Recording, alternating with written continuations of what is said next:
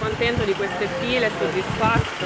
Sì, sono molto, sono molto contento soprattutto come studioso perché in effetti è una misura che il Paese aspettava da un sacco di tempo e penso che sarà molto utile sia da un punto di vista sociale, di contrasto alla povertà e sia come chance per i beneficiari per eh, rientrare nel mercato del lavoro, per i NIT, per gli scoraggiati. Senta, i governatori del nord hanno iniziato a lanciare l'allarme perché ancora non è risolta la questione navigator. Che cosa si sente di dire loro? Questa è un'altra questione, diciamo così, riguarda più la parte sulle politiche attive. Il reddito funziona a prescindere perché appunto è uno strumento di contrasto alla povertà. Certo, la parte sulle politiche attive è in materia di trattativa tra Stato e Regioni, so che stanno trovando un'intesa, ci sarà presto la conferenza Stato-Regioni, ma penso che questa è un'occasione eh, importante che nessuno dovrà farsi scappare. È preoccupato dal fatto che insomma, le regioni sui navigator dicono che c'è un rischio caos di Maio ha rilanciato possono essere 4.500 non più 6.000 insomma. Non lo, non lo, sinceramente non lo so non sto seguendo più questa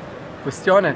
Eh, è, una, è, una, giustamente il Ministero del Lavoro do, dovrà trattare con, con, le regioni ma no, io non, non, sto seguendo più questa cosa. Era in preventivo un po' questo caos i primi giorni già per fare le domande e poi bisogna vedere poi questa card dal 19 aprile che verrà data realmente ma non penso che ci sia nessun caos, eh, le, del resto le domande si possono fare per tutto il mese, eh, le poste si stanno organizzando anche scaglionando per lettera, insomma eh, eh, certo la curiosità oggi è il primo giorno, però insomma non è che si deve fare oggi la domanda, si può fare per tutto il mese, non scappano né le poste né i caff. Però è preoccupato, l'Ocse ha abbassato ancora le stime, cioè non crede nel reddito di cittadinanza. Guarda, il reddito di cittadinanza deve ancora, eh, deve ancora espletare i suoi effetti. Dal, nel secondo semestre o secondo me ci saranno degli effetti molto positivi. Professore, dobbiamo chiamarla neopresidente? Non lo so, vedremo, vedremo.